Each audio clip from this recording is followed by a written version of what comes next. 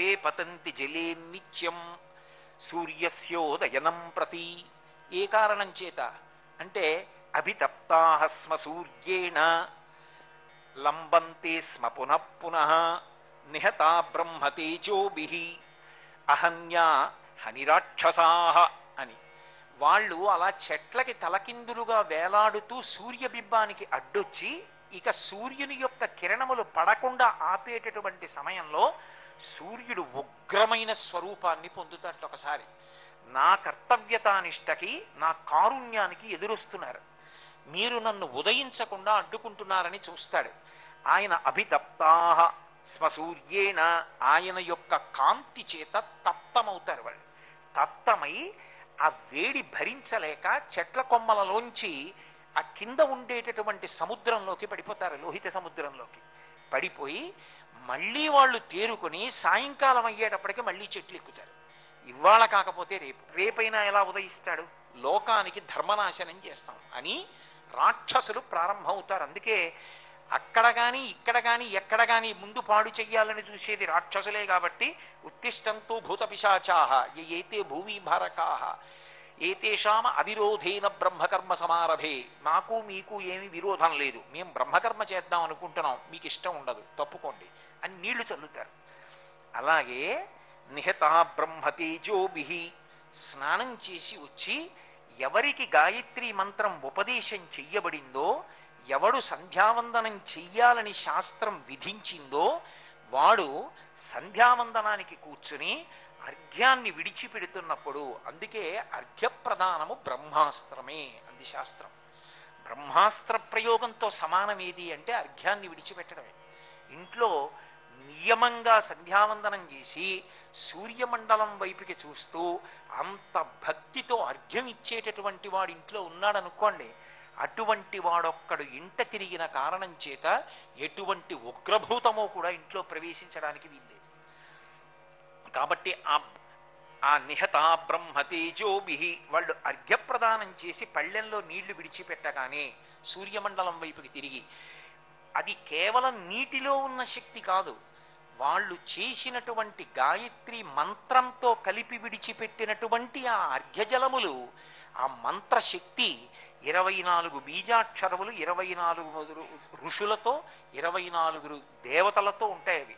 ఆ మంత్రాన్ని స్వరంతో చదివి అర్ఘ్యప్రదానం చెయ్యగానే ఈ మంత్రముల యొక్క ప్రకంపనలు అక్కడ వరకు వెళ్ళి వాళ్ళని నిహిత బ్రహ్మ తేజోభిహి ఒక్క దెబ్బ కొట్టయితే కొట్టేటప్పటికా మందేహులన్న రాక్షసులు వెనక నుంచి వచ్చినటువంటి ఈ బ్రహ్మ తేజస్సుతో మంత్రాన్ని స్వరంతో చదువుతూ విడిచిపెట్టినప్పుడు అర్ఘ్యజలములు విడిచిపెట్టిన సందర్భంలో వచ్చినటువంటి మంత్ర సంబంధమైన స్వర ప్రకంపనల చేత రెండు ముందు వైపు నుంచి వచ్చినటువంటి సూర్య కిరణముల చేత అభితప్తమై వాళ్ళు పట్టు విడిచిపెట్టి సముద్రంలో పడిపోతారు.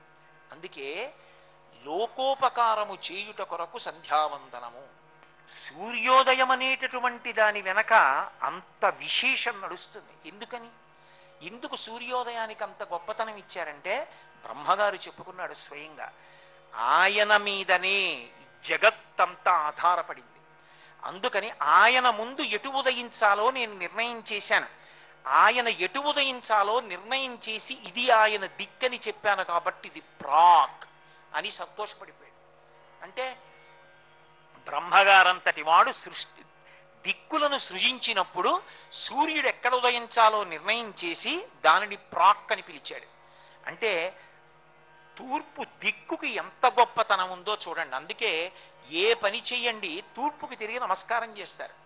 అందుకే సుందరకాండలో కూడా ఆయన దక్షిణ దిక్కుగా వెళ్ళవలసి వచ్చిన హనుమ అంజలిం పంభుకం కుర్వన్ పవనాయ ఆత్మయోనయే తదోహి వివృతే గంతుం. అని ఆయన తూర్పు దిక్కుకి తిరిగి నమస్కారం చేస్తాడు. దక్షిణ దిక్కుకి వెళ్ళవలసి ఉండి కూడా. అంటే తూర్పు దిక్కుకి నమస్కారం చేయడం ఎందుకు అంటే భగవానుని యొక్క ప్రత్యక్ష స్వరూపం. కన్నుల ముందు కదలాడేటటువంటి దిక్కు తూర్పు దిక్కుయే. ఆయన బయలుదేరుతున్నప్పుడు ఒక విశేషం జరుగుతుంది. ఇది చెప్పినవాడు ఎవరో సామాన్యుడు అనుకోకండి. ఇప్పుడు నేను చెప్తున్న విషయాన్ని చెప్తున్నవాడు. మయూరభట్టు అని ఒక మహాకవి. ఆయనకు ఒకప్పుడు వ్యాధి వచ్చింది. వచ్చి వేళ్ళు ఊడి కింద పడిపోతున్నాయి. కింద పడిపోతుంటే ఆయన కోణార్క వెళ్ళి కోణార్కలో ఉన్నటువంటి సూర్య దేవాలయానికి ప్రదక్షిణాలు చేశాడు ప్రదక్షిణం చేసి రోజు సూర్య భగవానుడి వంక తిరిగి స్తోత్రం చేశాడు అప్పుడు ఆయనను అనుగ్రహించి సూర్య భగవానుడు ఆయనకు వచ్చిన వ్యాధి పోగొట్టాడు. పోగొట్టినప్పుడు అరుణారుణ కాంతులతో వస్తున్నటువంటి ఆ సూర్య రథాన్ని చూస్తే అందుకే సూర్యుడికి ఎంత గొప్పో సూర్య రథానికి అంత గొప్ప ఉంది.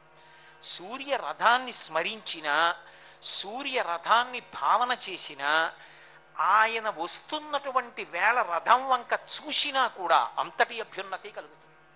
దాన్ని నేను చెప్పట్లేదు మయూరభట్టు చెప్పాడు మహానుభావుడు. ఎందుచేత అంటే మీరు చూడండి లోకంలో శివరథం అండి అని కట్టి పూజ చేయరు విష్ణురథం అండి అని కట్టి ఇళ్ళలో ఎవరు పూజ చేయరు. సూర్యరథం అండి అని మాత్రం కట్టి పూజ చేస్తారు ఎప్పుడు? మాఘమాసం ఎందుకు అంటే సూర్యబింబం ఆవిర్భవించినటువంటి మాసం అది. అందుకని ఆ మాసంలో పట్టు ఎక్కువ. అటువంటి మాఘమాసంలో ఆయనకి రథం కట్టడం ఎందుకు అంటే ఆయన రథం తిరుగుతున్నప్పుడు ఒక చమత్కారం జరుగుతుందిట. మండలాకృతిలో గుర్రాలు తిరిగినట్టు తిరుగుతాడు. ఆ తిరుగుతుంటే ఆయన ప్రాంగుఖం ఇంద్రుడి వంక చూస్తాట మొదట తూర్పు దిక్కుకి తిరిగి.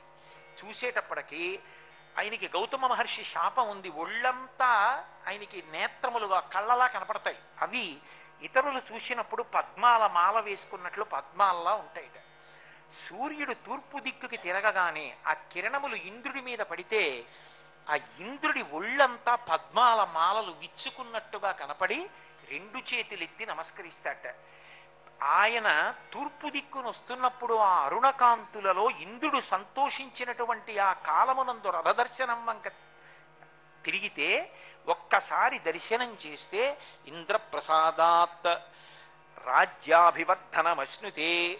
అంటే ఏ అధికారమునందున్నారో ఆ అధికారము నిలబడుతుంది.